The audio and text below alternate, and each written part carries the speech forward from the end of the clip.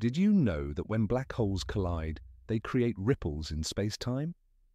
These are called gravitational waves, and they can tell us amazing things about the universe. Imagine two massive black holes, each millions of times heavier than our Sun, slowly spiraling towards each other. As they get closer, they speed up, and their immense gravity starts to distort space-time.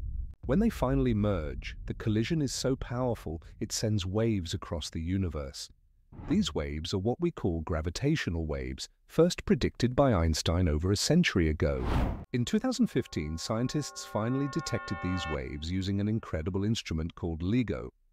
This was a groundbreaking discovery, confirming Einstein's theories and opening a new window to observe the cosmos. Gravitational waves allow us to hear events in space that we could never see with telescopes. They give us a way to study black holes, neutron stars, and even the early moments of the universe. These discoveries help us understand the fundamental laws of physics and the origins of our universe. The more we learn, the more we realize how much there is still to discover. So next time you look up at the stars, remember, somewhere out there, black holes are colliding, sending messages across the cosmos. And thanks to gravitational waves, we can listen. Want your own fascinating videos? Click the description to get started today.